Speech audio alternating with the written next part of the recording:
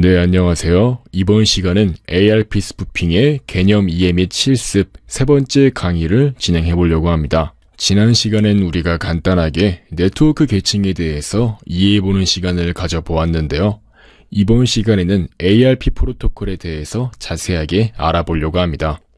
ARP 프로토콜 같은 경우는 IP 주소를 이용해서 맥 주소를 탐색하는 프로토콜이라고 할 수 있어요. ARP는 Address Resolution 프로토콜의 약자로서 주소 결정 프로토콜을 의미합니다. 자, ARP는 IP 주소를 이용해서 48비트의 물리적 주소, 즉 맥 주소를 검색합니다. 실질적으로 우리가 데이터를 주고받을 때는 IP 주소가 아니라 맥 주소를 이용하는데요. 맥 주소가 바로 옆에 있는 어떠한 컴퓨터에 데이터를 전송할 때 사용하는 주소라고 했었죠. 지난 시간에 이 계층, 데이터 링크 계층에서 사용하는 주소라고 했어요. 예를 들면 이제 우리가 네이버나 구글에 접속하려고 할 때 먼저 현재 자신이 속해 있는 사설 네트워크, 내부 네트워크의 공유기한테 패킷을 전송하고 그 공유기가 실질적으로 구글이 존재하는 인터넷을 향해서 다시 한번 데이터를 전송하는 건데요. 이때 우리가 공유기에 데이터를 전송할 때는 IP 주소가 아니라 MAC 주소를 사용하죠. 즉 실질적으로는 MAC 주소가 데이터를 전달하기 위해서 어떠한 컴퓨터의 주소를 나타내는 주소라고 할 수가 있는 거고요. ARP 프로토콜 같은 경우는 구체적으로 ARP request, 그 다음에 ARP reply 순서로 이루어집니다. 이 두 가지 데이터를 주고받으면서 ARP 프로토콜이 이루어지는 건데요. 한번 확인해 보겠습니다. 자, 기본적으로 MAC 주소를 얻는 과정에 대해서 알아보려고 할게요. 바로 ARP 프로토콜을 어떻게 사용하는지 보여주는 건데요. 컴퓨터 A는 컴퓨터 B한테 패킷을 전송하려고 해요. 이때 B의 IP 주소 192.168.0.5는 알고 있지만 맥 주소는 모른다고 한번 가정을 해볼게요. 이때 해당 내부 네트워크 안에 있는 모든 컴퓨터들한테 컴퓨터 B의 맥 주소를 물어보는 거예요. 192.168.0.5의 맥 주소가 뭔지 이 내부 네트워크들한테 물어봅니다. 이제 이거를 ARP request라고 하고요. 해당 네트워크 안에 있는 모든 사람들한테 다 물어본다는 점에서 broadcast 방식이라고 할 수 있습니다.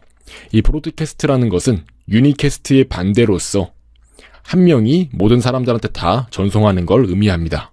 unicast는 조금 이따가 배워볼게요. 아무튼 이 broadcast라는 것은 방송하다란 뜻을 가지고 있는데요. 정말 말 그대로 방송을 한다는 의미에서 모든 컴퓨터들한테 데이터를 전송한다고 생각하시면 됩니다. 그 다음에 이제 ARP request가 해당 네트워크한테 퍼져나간 이후에는 이제 두 가지 경우가 있는데요. 이 컴퓨터 B가 직접 자신의 MAC 주소를 알려주는 거예요. 이걸 바로 ARP reply, 즉 응답이라고 할 수 있고요. 이때는 이제 컴퓨터 A한테만 전송한다는 점에서 unicast 방식이라고 할 수 있습니다. 즉 컴퓨터 B가 A한테 192.168.0.5의 MAC 주소는 이렇게 생겼다고 전송을 해주는 거예요. 혹은 이제 B가 아니라 다른 컴퓨터가 B의 MAC 주소를 이미 가지고 있는 상태에서 이렇게 알려줄 수도 있어요. 이것 또한 마찬가지로 ARP reply라고 할 수 있고요. unicast 방식으로 컴퓨터 A한테만 데이터가 전달이 됩니다.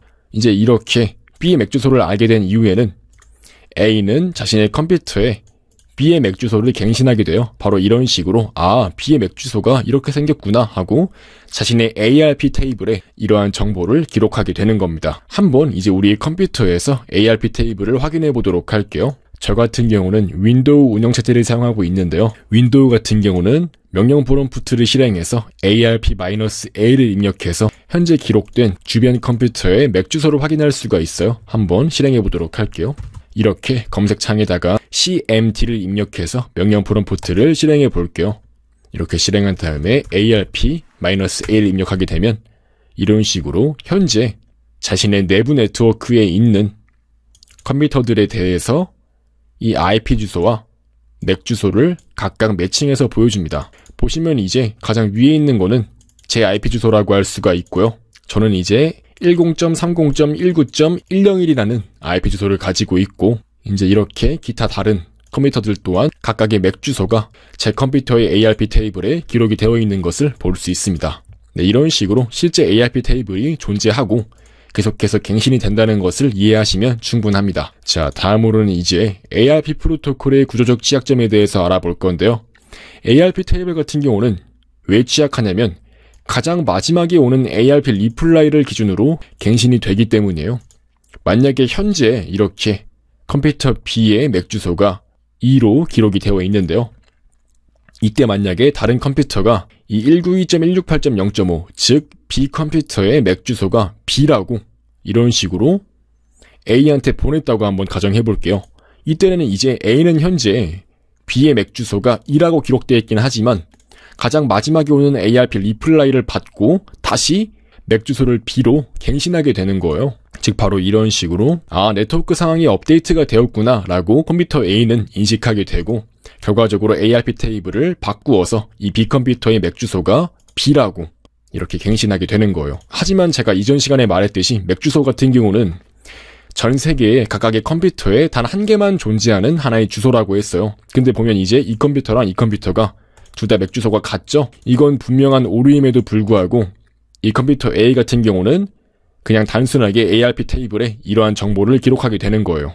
즉 앞으로는 이제 이런 식으로 B한테 보내는 정보를 이 컴퓨터한테 전송하게 되는 거죠.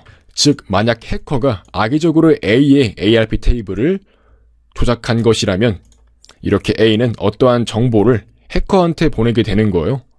즉 해커한테 네트워크 패킷의 정보를 감청당하게 된다는 소리죠. 바로 이런 식으로 현재 상황에서는 B한테 보내야 될 메시지를 다른 사용자한테 보내게 되는 거죠. 바로 이러한 경우는 아까 전에 말했듯이 실질적으로 데이터를 주고받을 때는 MAC 주소를 이용해서 주고받기 때문에 이 컴퓨터 B의 MAC 주소가 B로 정의되어 있기 때문에 실제로 B라는 MAC 주소를 가지는 이 컴퓨터, 즉 해커의 컴퓨터한테 데이터를 전송하게 되는 거죠. 바로 이것이 ARP 프로토콜의 구조적인 취약점이라고 할 수 있는 거고요. 앞으로 우리가 만들 해킹 툴은 바로 이러한 해킹 과정을 자동화해주는 하나의 해킹 툴이라고 할 수 있어요. 아무튼 바로 이런 식으로 ARP 프로토콜을 악용해서 해킹을 할 수 있는 것입니다. 자, 다음 시간엔 이제 이러한 ARP 프로토콜의 특성을 이용해서 특정한 컴퓨터를 감염시키고 데이터를 탈취하는 ARP spoofing 기법을 구체적으로 어떻게 구현할 수 있을지에 대해서 알아보는 시간을 가져보려고 합니다.